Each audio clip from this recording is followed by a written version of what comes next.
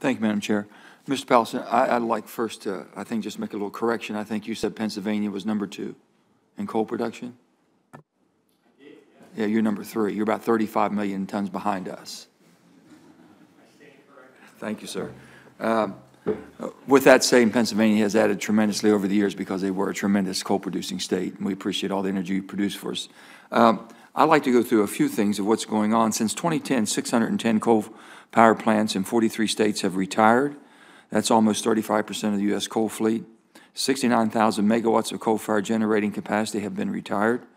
2020, an additional 21,000 megawatts are expected to retire. That's 90,000 megawatts by the end of 2020. About 456 plants of 76,000 megawatts are attributed to the EPA regulation. During the bomb cyclone, the Department of Energy's own National, uh, National Energy Technology Lab, NETL, found that the height of the peak of demand on January the 5th, 2018, had coal been removed, a 9 to 18 gigawatt shortfall would have developed.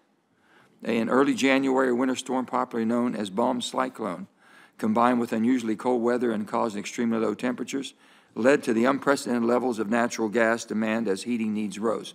As a result, in just a few days, gas prices near New York City went from less than $3 per million BTU to over $140 per million BTU. And similar pricing surges were experienced all along the East Coast. Everyone's been talking about cost. I uh, represent a state that has 18% uh, poverty level. We rank 46th in the nation. I don't know what all has happened and, and how they've talked and how you all evaluate all of this. And you're talking about all this is going to happen to rise if the president, uh, which I support very robustly, the Defense Production Act and 202C. And I would say, Mr. McIntyre, do you believe that's within his authority to do so? Within the President. authority of the Secretary? The president. Of the President? Well, under the role, Secretary Perry, right, he, basically directing Secretary Perry. yes, sir, under, under the roles assigned to the Secretary by Congress, it is up to the Secretary of Energy to determine whether the conditions exist for the invocation of the directives you do under believe, either. you do believe that the uh, administration has the authority to take measures to preserve the power plants critical for national security? There's no question that the Secretary does, and since the Secretary reports to the President, it stands to reason Okay, that that is thank so. you, sir. I know that's been your statement before, and I appreciate that. Let me tell you what's happened to states like West Virginia.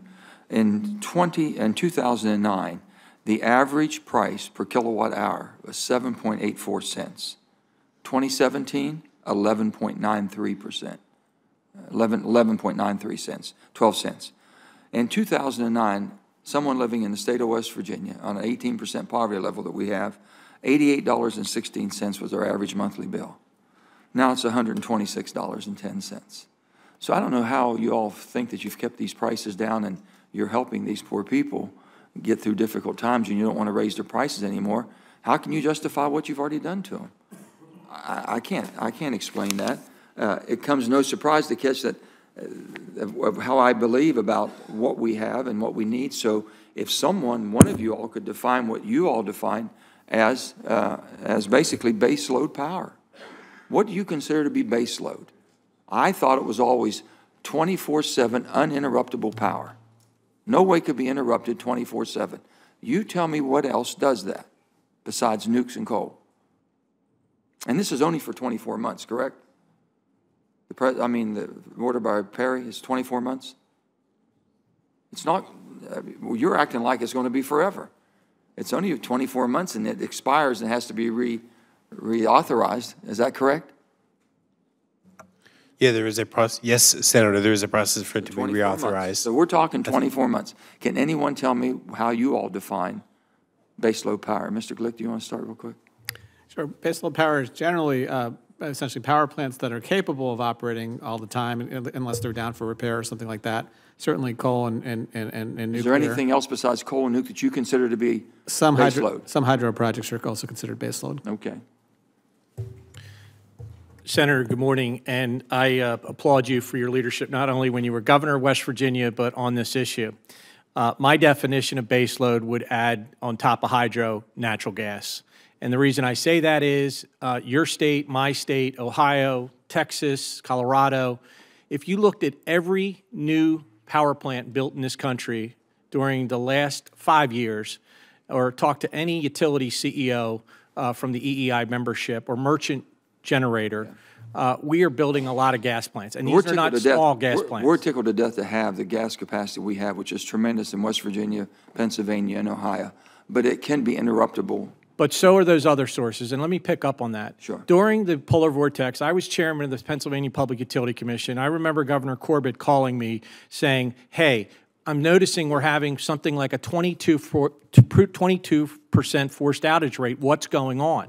We had nuclear plants, we had coal pits that were frozen, we had interruptible gas lines, uh, we had industrial customers that didn't firm up their gas contracts.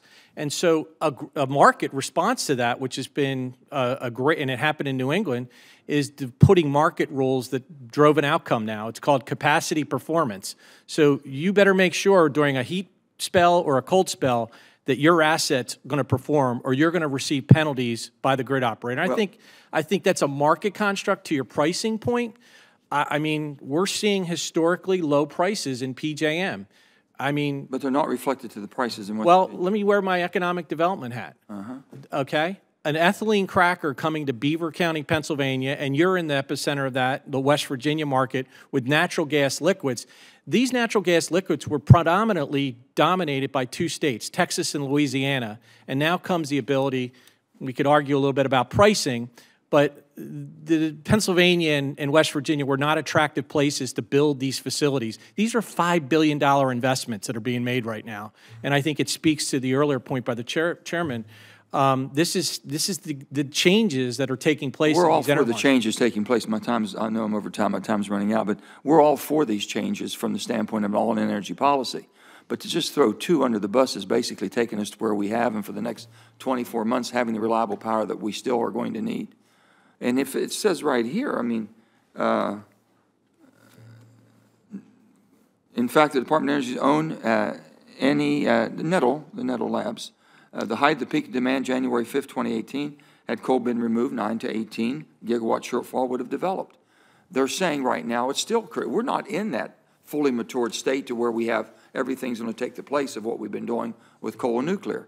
But we're saying, we're seeing plants, and these are basically the most uh, efficient as far as climate efficient plants with all of the uh, pollution controls. We're talking about scrubbers, low NOx boilers, baghouses, mercury. These are the best of what we have. These are coming off because of market conditions right now and the demand, and we're trying to keep those for a 24-month period to stabilize the system and let the rest of the system mature. That's all we've asked for, and everybody's coming out of the woodwork thinking they're going to jack their prices up.